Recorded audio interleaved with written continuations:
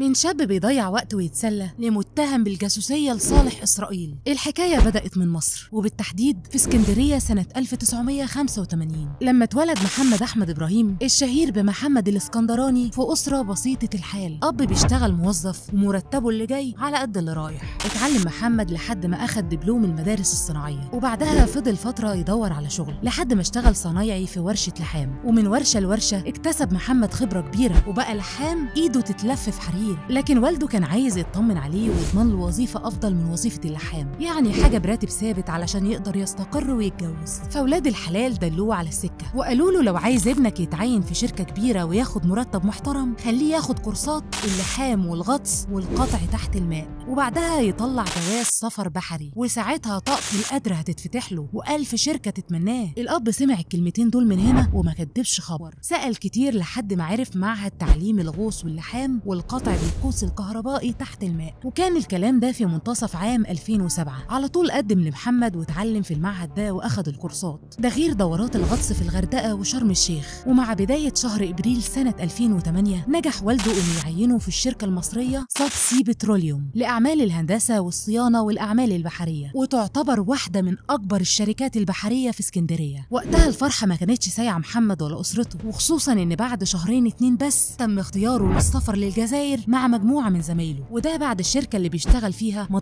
مع شركة سونا تراك الجزائرية للأعمال البحرية والصيانة. فرصة وجت له على طبق من ذهب لكن ورغم فرحته الكبيرة وفرحة كل اللي حواليه إلا إن في شخص واحد ما كانش مرتاح ولا مبسوط والشخص ده كان والدته لكن عشان رغبة ابنها وافقت بس اشترطت عليه شرط قبل السفر وهو إنه يخطب بنت من بنات الجيران علشان يحس بالمسؤولية ما يبصش يمين ولا شمال. وفعلا وافق محمد وراح خطب البنت وبعدها سافر. وكان الكلام ده يوم 1 يوليو سنة 2008 ولما وصل محمد نزل في سكن اسمه سكن العمال. وكان مكانه جنب شغله في ميناء وران الجزائري. وانبهر محمد لما عرف إنه بيشتغل في أكبر مدينة بترول ومصافي تكرير في شمال إفريقيا كلها. وبدأ محمد يشتغل والراتب اللي يجيله ياخد جزء بسيط منه والباقي يبعته على والدته عشان تجهيزات الجواز والفرح. لكن بعد فترة بدأ محمد يحس بالملل. بلد غريبة لا فيها أهل ولا أصحاب ولا حاجة تسليه. بص في إيده ما لقاش غير التليفون.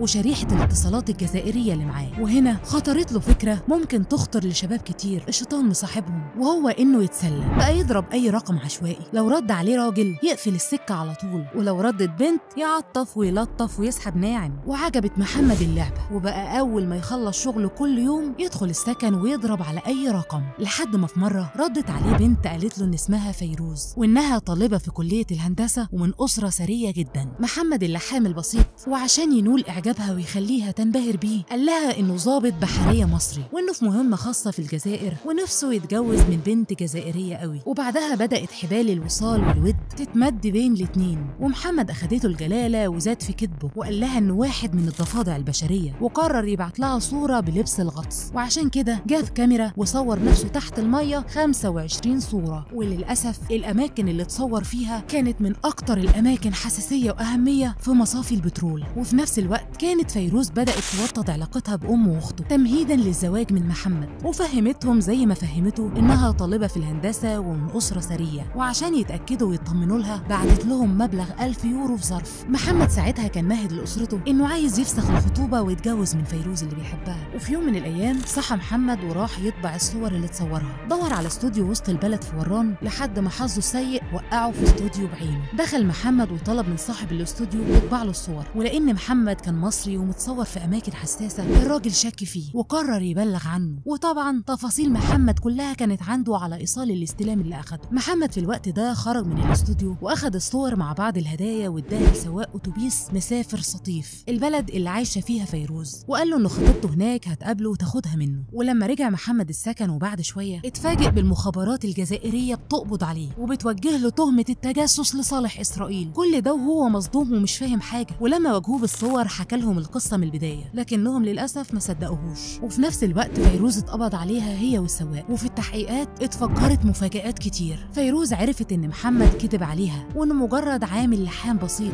مش ضابط بحرية زي ما كان مفهمها. المفاجأة الأكبر بقى اللي عرفها محمد وهي إن فيروز مش بنت ولا خريجة هندسة ولا من أسرة ثريه فيروز طلعت زوجة وأم وعندها طفل عنده سنة ونص وكمان ما كانتش متعلمة من أساسه ولا من أسرة غنية. واتحكم على محمد بعشر سنين سجن رغم عدم إثبات وجود طرف ثالث في القصة أو أي علاقة ليه بالموساد لكن اتهام النيابة العامة جه بتصوير أماكن حيوية تعتبر أمن قومي في الجزائر واتحكم عليه بعشر سنين وعلى فيروز زيهم. أما السواق فطلع براءة لعدم كفاية الأدلة واستندوا في الحكم ده على مبلغ الألف يورو اللي بعتتهم فيروز لأهله والخمسة وعشرين صورة اللي تصورهم الباشا بنفسه علشان يحبب كذبته وكان الكلام ده سنة 2008 محمد بعدها قدم طعن على الحكم لكنه اترفض في سنة 2009 وتأيد الحكم الأولاني بالحبس 10 سنوات. ما يأس وطعن بالنقض مرة تانية على الحكم لكن برضه للأسف تم رفض الطعن واتحكم على محمد بتأييد الحكم وقضى العقوبة كاملة رغم إنه كان مظلوم وبريء من تهمة التجسس. وكل الحكاية يا دوب معاكسة تليفون لكنها ضيعت مستقبله وأحلى سنين عمره. لو عكست قبل كده فاعرف إن ربنا سترها معاك ولو ناوي تعاكس تاني فربنا يتولاك.